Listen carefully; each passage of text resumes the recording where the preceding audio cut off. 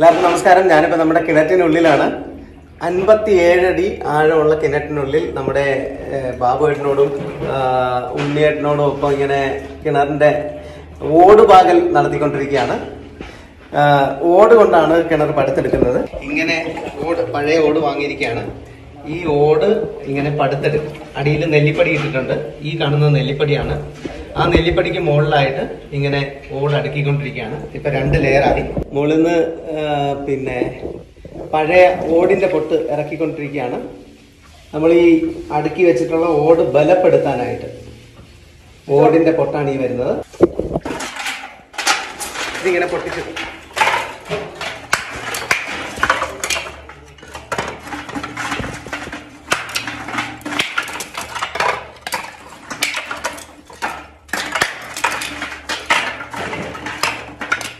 കുറച്ചുകൂടെ ഒന്ന് പൊട്ടിച്ചു തരണേ. പൊട്ടിക്കാൻ പറ്റുമെങ്കിൽ ഒന്ന് തട്ടി പൊട്ടിച്ചതാ ആ. ഓ ഓ ഓ. അപ്പൊ ഇതാണ് ഇതാണ് മുകൾ ഭാഗം. അമ്പത്തി ഏഴടി ഉയരമുണ്ട് ഇതിന്.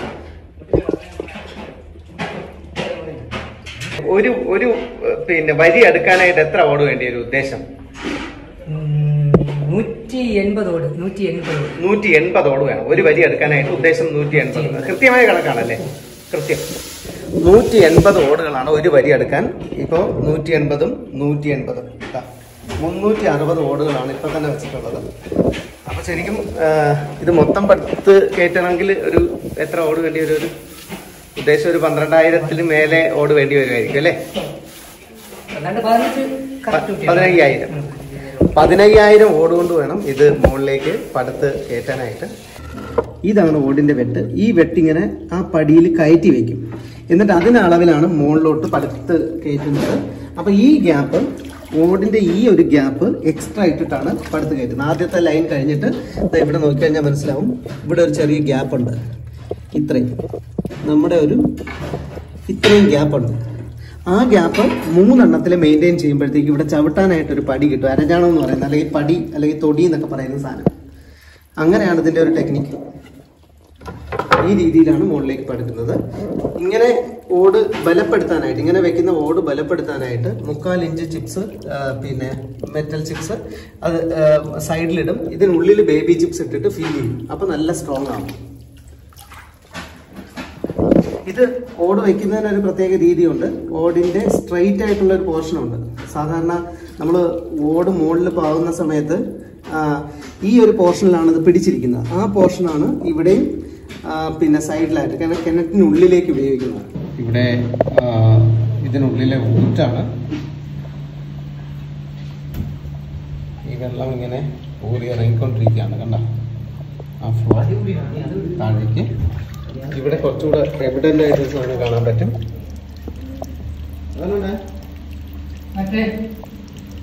ഇപ്പൊ ഇത് കാലിഞ്ച് പാകയുടെ ബേസാണ് ഇതാണ് ഇതിന് ബലം കൊടുക്കുന്നത്. ഇത് ഇതിനുള്ളിലേക്ക് ഇറങ്ങിയിട്ട് സെറ്റാവും ഇത് കൈകൊണ്ട് ഇപ്പോൾ ഇടുന്ന കാണാം ഇതിന് ബലം കൊടുക്കുന്നത് ഈ ഓട് പാകി കഴിഞ്ഞാൽ നമ്മുടെ വാട്ടർ സോഴ്സ് നമ്മുടെ ഊറ്റെന്ന് പറയുന്ന സംഭവം ആ, ഊറ്റ് പോവാതെ. എന്ന് വെച്ചാൽ ഊറ്റ് ഒരിക്കലും ബ്ലോക്ക് ആവാത്ത രീതിയിലാണ് ഈ ചിപ്സ് കൊണ്ട് ഇതിനിടയിൽ ഫില്ല് ചെയ്യുന്നത്. പല ഫുഡ് കഴിക്കലും കണ്ടിട്ടുണ്ട് പക്ഷെ ഈ സൈസിൽ ഫുഡ് കഴിക്കൽ കിണറ്റിനകത്തിരുന്ന ഫുഡ് കഴിക്കൽ ആദ്യമായിട്ടാണ്.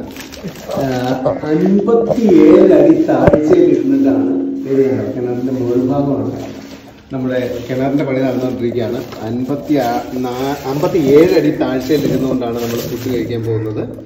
ആ ചോറും കറികളും ഒക്കെ ഉണ്ട്. ഏതോ ഹോട്ടലിൽ നിന്ന് പാഴ്സൽ വാങ്ങിച്ചുകൊണ്ട് വന്ന ഫുഡാണ് ഞാനും ഉണ്ണിയേട്ടനും കൂടി കഴിക്കാൻ പോകുന്നത്. എന്റെ ഫുഡ് റെഡി ആയിരിക്കുന്നു.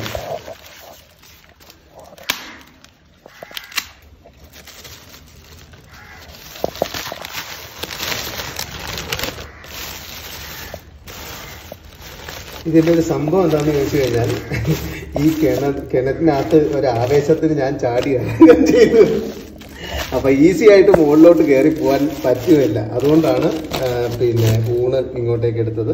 നല്ല വെജിറ്റേറിയൻ ഊണാണ് നമ്മൾ കഴിക്കാൻ പോകുന്നത്. കിണറ്റിനുള്ളിൽ ഇരുന്നിട്ട് ആദ്യമായിട്ട് എന്റെ ഫുഡിന്റെ പിന്നെ എന്താ പറയുക ഞാൻ പല തരത്തിലും ഫുഡ് കഴിച്ചിട്ടുണ്ട്. പല സ്ഥലങ്ങളിലും പോയി ഫുഡ് കഴിച്ചിട്ടുണ്ട്. പക്ഷേ കിണറ്റിനകത്ത് ഇരുന്നിട്ട് ഉണ്ണിയേട്ടനോടൊപ്പം ആദ്യമായിട്ടാണ് ഫുഡ് കഴിക്കാൻ പോകുന്നത്.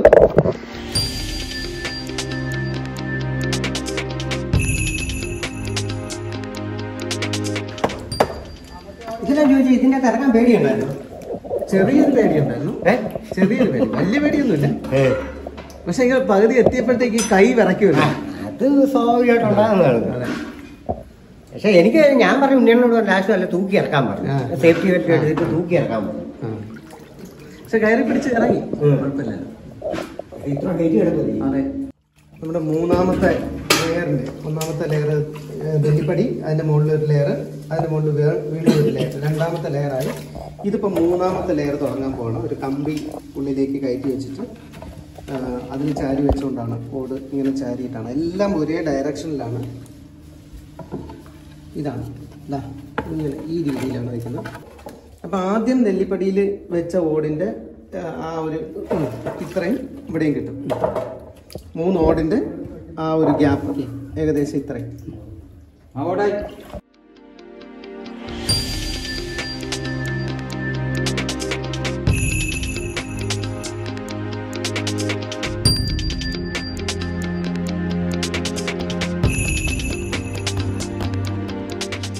നമ്മുടെ നെല്ലിപ്പടിക്ക് മുകളിൽ പിന്നെ മൂന്ന് ലെയർ വെച്ചതിന് ശേഷം നമ്മൾ കിണറ്റിന്ന് തിരിച്ചു കയറാൻ പോവാണ്.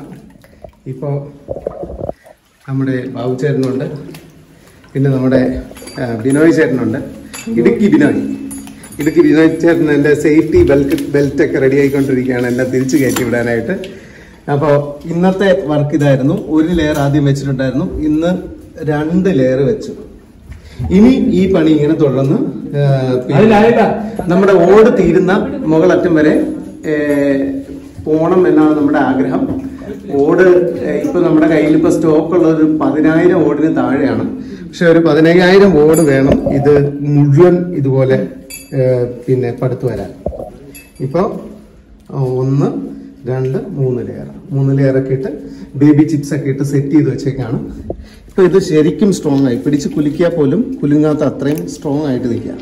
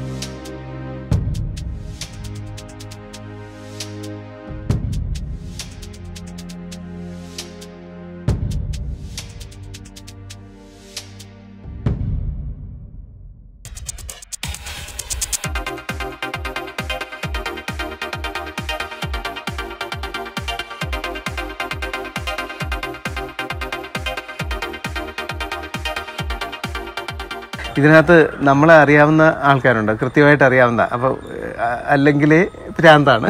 അതിന്റെ കൂടെ അവൻ കിണർ വയ്ക്കാൻ തുടങ്ങിയിട്ട് ഇപ്പൊ ഏഴ് മാസം എട്ട് മാസം കണ്ടായി. അവന്റെ കിണർ ഇതുവരെയും തീർന്നിട്ടില്ല. ഇവൻ എന്താണ് ഈ പരിപാടി? അപ്പോൾ ചുറ്റാകെയുള്ള ആൾക്കാരൊക്കെ ഒന്ന് രണ്ട് ദിവസം വന്ന് നോക്കിയിട്ട് ഇവന് വട്ടായിരിക്കും. ഒരു കിണറിന്റെ പണി ഇങ്ങനെ തുടങ്ങിയിട്ട് ഓട് കൊണ്ടുവന്ന് വെക്കുന്നു കഴുകുന്നു പിന്നെ അത് കാണുന്നില്ല. അത് എങ്ങോട്ടാ പോകുന്നതെന്ന് അറിയില്ലല്ലോ അപ്പൊ ഈ പതിനാറായിരത്തി അറുന്നൂറ് ഓട് വേണ്ടി വന്നു ഇതിനകത്ത്. ആ. അച്ഛൻ അത് കൃത്യമായിട്ട് കണക്കെടുത്തു. ഓരോ റൗണ്ടിലും എത്ര എണ്ണമാണ് വരുന്നത്. അപ്പോൾ അപ്പൊ ഉണ്ണിച്ചേട്ടനും അച്ഛനും കൂടെ കാൽക്കുലേറ്റ് ചെയ്തിട്ട് പതിനാറായിരത്തി അറുന്നൂറ് റോഡുകൾ മൊത്തം പടുത്തെടുക്കാനായിട്ട് വേണ്ടി വന്നു. കൃത്യമായ കണക്കുണ്ടായിരുന്നു. ഓരോ റൗണ്ടിലും അത് ഉണ്ണിച്ചേട്ടൻ കൃത്യമായിട്ട് പറയുന്നുണ്ട്. ഓരോ റൗണ്ടിൽ എത്ര ഇതാണ് വെക്കേണ്ടത്. അത് മോളറ്റം വരെ ഒരേ എണ്ണമാണ് വേണ്ടി വന്നത്. ഈ ഓട് പുതിയ ഓടുകളല്ല ഇതിന് യൂസ് ചെയ്യുന്നത്. പഴയ ഓടുകളാണ് അപ്പോൾ ഈ പഴയ ഓട് കിട്ടാനായിട്ട് വലിയ പ്രയാസം. അതിന് നേരത്തെ ബിൽഡിംഗ് പൊളിച്ചതിന്റെ കുറച്ച് ആ കുറച്ച് കുറച്ച് ഓട് നമ്മുടെ കയ്യിലുണ്ടായിരുന്നു ഒരു പക്ഷെ അത് വളരെ കുറച്ചേ ഉണ്ടായിരുന്നുള്ളൂ. ഈ ഇത് മൊത്തം പടുത്തു വരാനായിട്ടൊരു പതിനാറായിരത്തി അറുന്നൂറ് ഓട് വേണ്ടി വന്നു. അപ്പോൾ ഈ ഈ- നാട്ടിൽ നാട്ടിൽ പൊളിച്ച അത്രയും. ഈ നാട്ടിൽ പൊളിച്ച സകലമാന ഓട് നമ്മൾ എടുത്തുകൊണ്ട് വന്നു. അതിനകത്ത് ഓട് കൊണ്ടുവന്ന് കഴിയുമ്പോഴത്തേക്ക് അതിനകത്ത് മുഴുവൻ പായലും എത്രയെങ്കിലും വർഷങ്ങളായിട്ടുള്ള നൂറ്റാണ്ട് വരെ പഴക്കമുള്ള ഓട് നമ്മുടെ കയ്യിൽ ഉണ്ടായിരുന്നു. ഈ വർഷം ഓടിന്റെ മുകളിൽ ഏത് കമ്പനി തോമസ് സ്റ്റീഫൻ കമ്പനി ആണെങ്കിൽ ആ തോമസ് സ്റ്റീഫൻ കമ്പനി ഏത് വർഷം ഉണ്ടാക്കിയ ഓട്? ആയിരത്തി തൊള്ളായിരത്തി രണ്ടിലുണ്ടാക്കിയ ഓട് വരെ ഉണ്ടായിരുന്നു. നിധിയാണ് അതെ. അതെ. ആയിരത്തി തൊള്ളായിരത്തി രണ്ടിലുണ്ടാക്കിയ ഓട് വരെ ഉണ്ടായിരുന്നു. ഇതൊന്നും കാണാൻ പറ്റൂല. മൊത്തം ഒരു കറുത്ത കട്ടയായിട്ടാണ് ഈ ഓട് കിട്ടുക. എന്നിട്ട് ഇവിടെ നിന്ന് കൊണ്ടുവന്നിട്ട് നമ്മളൊരു പ്രഷർ പമ്പ് വാങ്ങിച്ചു. ഈ പ്രഷർ പമ്പ് വാങ്ങിച്ചിട്ട് ദർശന അതിൽ കളിക്കാൻ ഭയങ്കര ഇഷ്ടമാണ്. ദിവ്യയുടെ അച്ഛനാണ്. ഇതിന്റെ ഫുൾ ക്രെഡിറ്റും ദിവ്യയുടെ അച്ഛനാണ്. പഴയ ഓട് എവിടെ ഉണ്ടെന്ന് അച്ഛൻ ഓരോരുത്തരെയും ഫോൺ ചെയ്ത് ചോദിച്ച് ഈ ഈ- ഇങ്ങോട്ട് അന്ന് ചെറിയ വണ്ടികൾ മാത്രമേ കയറി വരുള്ളൂ ഓടും കൊണ്ട്. അത് ഒറ്റ ട്രിപ്പിൽ അഞ്ഞൂറിൽ കൂടുതൽ ഓട് കയറ്റി കഴിഞ്ഞാൽ ഇങ്ങോട്ടേക്ക് മുകളിലോട്ട് കയറി വരില്ല അപ്പോൾ ചെറിയ ഈ ടെമ്പോ ട്രാവലർ ടെമ്പോ ട്രാക്സ് പോലെയുള്ള സാധനങ്ങൾ ചെറിയ പിക്കപ്പ് ലോറികൾ വിളിച്ച് അതിനകത്ത് ഈ സാധനം കയറ്റി പൊട്ടാതെ പൊടിയാതെ ഇവിടെ കൊണ്ടുവന്ന് കൃത്യമായിട്ട് ഇറക്കി അതിനകത്ത് പ്രഷർ പമ്പ് കൊണ്ട് കഴുകി ഇത് ക്ലീനാക്കി അത് ഉണക്കി ഇത് ഉണങ്ങിയതിന് ശേഷമാണ് കിണറ്റിലേക്ക് അടുക്കാൻ പറ്റുള്ളൂ.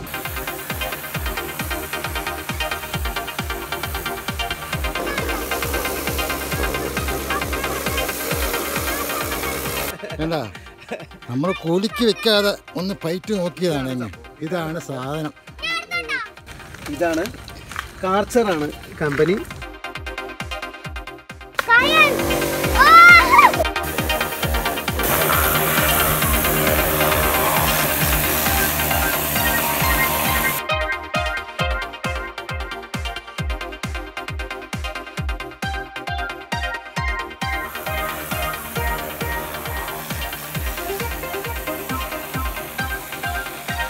അപ്പൊ ഈ ഇത്രയും ഓട് പടുത്തിട്ടേ ബാക്കി ഇങ്ങോട്ട് കിണർ കോൺക്രീറ്റ് ചെയ്യണോ വേണ്ടേന്ന് ഇങ്ങനെ ആലോചിച്ചു. അപ്പോൾ ഇത് ഉണ്ണിച്ചേട്ടൻ തന്നെ പറഞ്ഞു ഇത് കിണർ ചെയ്യുന്നെങ്കിൽ ഇതൊരു നാച്ചുറൽ സാധാരണ ഒരു കിണർ പോലെ തോന്നിക്കുന്ന തരത്തിൽ നമ്മൾ ചെയ്യുന്നതാണ് നല്ലത്. സിമെന്റ് വളരെ കുറച്ച് ഉപയോഗിച്ചുകൊണ്ട് കാരണം ഇത്രയും ഓടുപെടുത്ത് വന്നില്ലേ. അപ്പോൾ ഇതിന്റെ മുകൾ ഭാഗവും നമുക്കൊരു പഴമ തോന്നിക്കുന്ന ഒരു സാധനം കൊണ്ട് തന്നെ ചെയ്യണം നന്നായി. വളരെ എസ്തെറ്റിക്കലിയും നന്നായി എല്ലാ എല്ലാ ആസ്പെക്റ്റിലും ആ ഇനിയിപ്പോ ഇതിന്റെ ഒരു ഒരു തിട്ടയും കൂടെ ഇവിടെ പിടിക്കാനുണ്ട്. അതുകൂടെ കഴിഞ്ഞാൽ ഇത് കഴിഞ്ഞു. അത് കഴിഞ്ഞു. നമുക്ക് ഇപ്പൊ തന്നെ വെള്ളം കുടിക്കാവുന്ന കണ്ടീഷനിലാണ് വെള്ളം കോരി കുടിക്കാം. നല്ല ഫ്രഷ് വെള്ളമാണ്. ഈ വീടിന്റെ പണിക്ക് മുഴുവൻ ഉപയോഗിച്ചത് ഇതിനകത്തുള്ള വെള്ളമാണ്. ശരിക്ക് വെള്ളമുണ്ട്. ഇപ്പോൾ ഇതുവരെ ശരിക്ക് വെള്ളമുണ്ട്. ഏത് വേനൽക്കാലത്തും അത്യാവശ്യം വെള്ളമുള്ള കിണറാണ്. ഒരു കാര്യമുണ്ട് കലാശം നിങ്ങൾ ഈ വർക്ക് എല്ലാം കഴിഞ്ഞിട്ട് ഈ പറഞ്ഞതുപോലെ ഒരു ദിവസം ഉമ്മറത്തൊക്കെ ഇരുന്നിട്ട് വെള്ളം കോരിയിട്ട് കുടിച്ചു കഴിയുമ്പോൾ ഈ വെള്ളത്തിനൊരു മധുരമുണ്ട്. പക്ഷെ ഈ കഥ നിങ്ങൾക്ക് അറിയാവുന്നതുകൊണ്ട് ആ മൊത്തത്തിൽ കിണറിനൊരു മാധുര്യമുണ്ട്. ആ ഓർമ്മയ്ക്കല്ല നല്ലൊരു മാധുര്യമുള്ള ഒരു ഓർമ്മയല്ല. നല്ല ശരിക്കും സ്വീറ്റ് മെമ്മറി എന്നൊക്കെ നമ്മൾ പറയും പോലെ. അപ്പോൾ ഒന്ന് കിണർ അത്രയും പഴക്കമുള്ള കിണർ പിന്നെ അതിന്റെ ആയുസ് നിങ്ങൾ കുറച്ചുകൂടെ ഒന്ന് നീട്ടി അതെ. കുറച്ചുകൂടി ആരോഗ്യവാനാക്കി. അല്ല ഇത് നമ്മളൊരു കിണറുണ്ടാക്കുന്നതേ. ഇപ്പം നമ്മളാണ് ഒരു ഇപ്പം ഞാനൊരു പിന്നെ എപ്പോഴും അച്ഛൻ എന്നെ പഠിപ്പിച്ചിട്ടുള്ളൊരു സാധനം നമുക്ക് ഈ ഭക്ഷണത്തിന് എപ്പോഴും ദൗർലഭ്യം വരാം. എന്താണ് വരാൻ പോകുന്നതെന്ന് ഇപ്പം കൊറോണ കാലം വന്നപ്പോഴാണ് എനിക്കത് മനസ്സിലായത്. ഈ നമ്മൾ എത്ര പൈസ ഉണ്ടെന്ന് പറഞ്ഞിട്ട് ചിലപ്പോൾ ഫുഡ് കിട്ടാത്ത അവസ്ഥയൊക്കെ വരും. അപ്പം നമ്മൾ ഒരു പ്ലാവ് നട്ടാൽ നമുക്ക് ആ ഒരു ആറ് മാസം തിന്നാനുള്ള വക ഒരു പ്ലാവ് തരുമെന്നാണ് പറയുന്നത്. അപ്പോൾ എന്നെ കൊണ്ട് കുറേ പ്ലാവും മാവും ഒക്കെ നടിപ്പിച്ചിട്ടുണ്ട്. ആ പ്ലാവ് കായച്ചിട്ടുമുണ്ട് ഞാൻ തിന്നിട്ടുമുണ്ട്. അപ്പൊ അതിന്റെ ഒരു സുഖമുണ്ട്. പിള്ളേരെ കൊണ്ട് അറ്റാച്ച്മെന്റ് അപ്പൊ ഈ ഒരു കിണർ ഉണ്ടാക്കുന്നതെന്ന് പറയുന്ന ഒരു മരം നടുന്ന പോലെയാണ്. ഇത് എനിക്കായിരിക്കില്ല ചിലപ്പോൾ ഗുണം ചെയ്യുന്നത്. എനിക്ക് ഇതിനകത്ത് നിന്ന് കുടിക്കാൻ പറ്റുന്ന ചിലപ്പോൾ പതിനാറ് ലിറ്റർ വെള്ളം അത് കൃത്യമായിട്ടൊക്കെ കണക്കുണ്ടാവും. അല്ല ചിലപ്പോൾ ഒരു മുന്നൂറ് ലിറ്റർ വെള്ളമായിരിക്കും. അല്ലെങ്കിൽ നാനൂറ് ലിറ്റർ വെള്ളമായിരിക്കും. എനിക്കൊരു കൃത്യമായ കണക്ക് ഇതിനകത്തുണ്ട്. അത് കഴിഞ്ഞാൽ അടുത്ത ജനറേഷനാണ് പിന്നെ ഇത് ഉപയോഗിക്കുന്ന ആൾക്കാർ പിന്നെ ഈ വീട് കൊടുക്കുമ്പോഴത്തേക്ക് അത് മേടിക്കുന്ന ആൾക്കാരായിരിക്കും. അപ്പോൾ ഒരുപാട് ജനറേഷൻസിന് വേണ്ടിയിട്ടുള്ളൊരു ഒരു ഇതാണ്. ഒരു മരം നടുന്ന പോലെയാണ് എനിക്ക് തോന്നുന്ന ഒരു കിണർ. വെള്ളം പറ്റിപ്പോയിട്ടില്ലെങ്കിൽ എല്ലാവർക്കും കുടിക്കാൻ പറ്റും.